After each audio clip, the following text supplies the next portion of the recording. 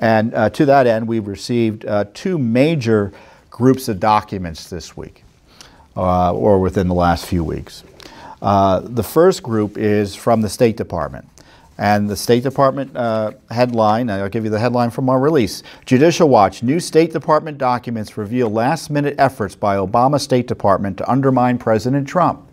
So the documents show that the State Department, and we have other documents showing this activity had been taking place, but the detail here is extraordinary, that the State Department under Barack Obama and John Kerry, so after President Trump was elected and before he was inaugurated, was desperate to get information out to its friendly allies in the Senate, some of, one of whom was a Republican. I think he's a former senator now, Bob Corker.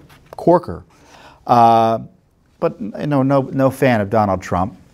Uh, but uh, Senator Warner, the Democrat from Virginia, who is, was the incoming chair of the Intelligence Committee, and they were shoveling this information out in a desperate way before the inauguration, including classified information. Many of those who were pushing this information out were surprise, surprise, Clinton donors. Uh, January 2017 email, January 13th. Remember the inauguration, I think it was on January 20th, suggests that the intelligence community was providing raw intel to Senator Warner. And of course, such an exchange would have been almost, would have had to have been approved uh, by the Office of Director of National Intelligence, who was run by the unethical James Clapper. And certainly enough, uh, the documents say, yes, that is correct. Warner raw, raw, intel stuff is going through IC channels. So they were pushing it out through the Office of Director of National Intelligence to uh, Senator Warner just a few days before the inauguration.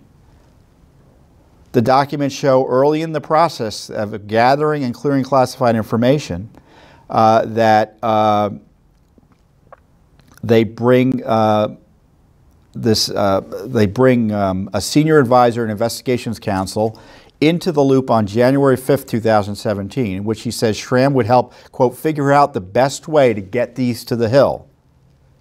The woman who brought this person in was a donor to Clinton, gave $2,700 to the campaign. So she's managing this process in early January to get this dirt. And it really wasn't dirt because there was nothing tying Trump to Russia uh, to um, uh, the uh, Senator Warner and his colleagues in the Senate who were hostile to President Trump. The, uh, if we're not going through our standard CDP, collection due process process, others in H need to weigh in on how to move these to the Hill. That was sent on January 11, 2017. They're not going through their standard process. So they were bypassing and trying to short circuit the rules governing the handling of classified information. They just can't share classified information willy-nilly with the Senate. In fact, the fact that information is classified is often a reason to either not share it or delay the sharing of classified information with the legislative branch.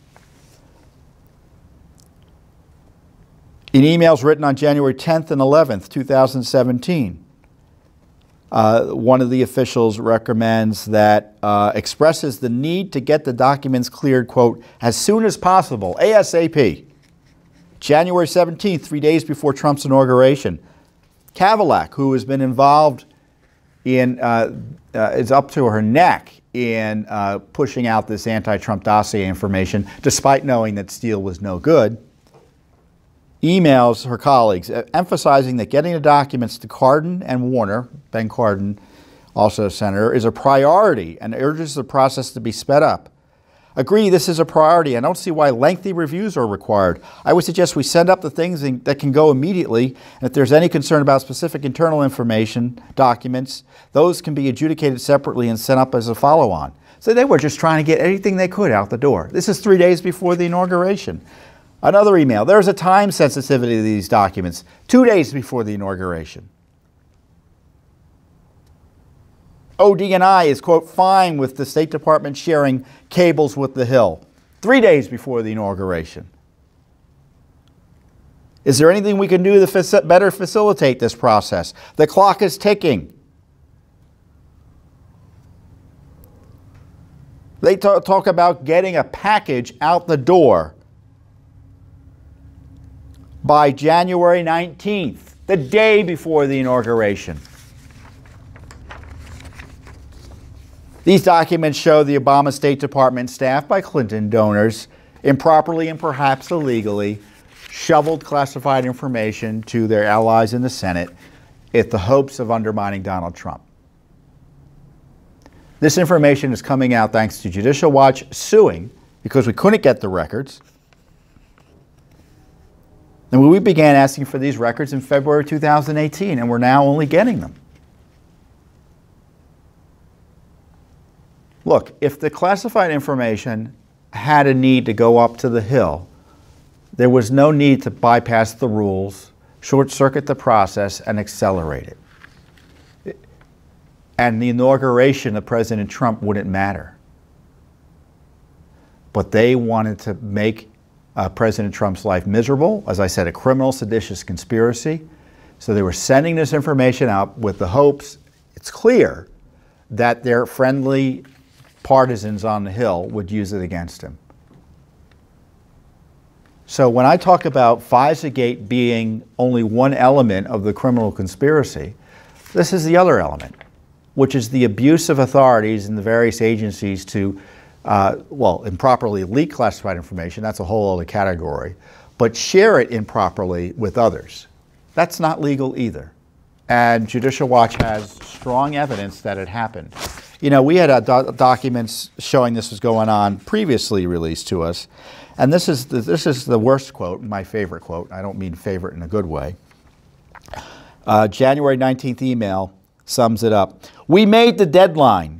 Thank you for thank you everyone for what was truly a department-wide effort. What was the deadline? President Trump's inauguration. So after he was elected and up till the minute he was inaugurated, the State Department was desperately trying to send up information to uh, its allies in the Hill, Democrat mostly, to try to undermine him. Unbelievable abuses of power.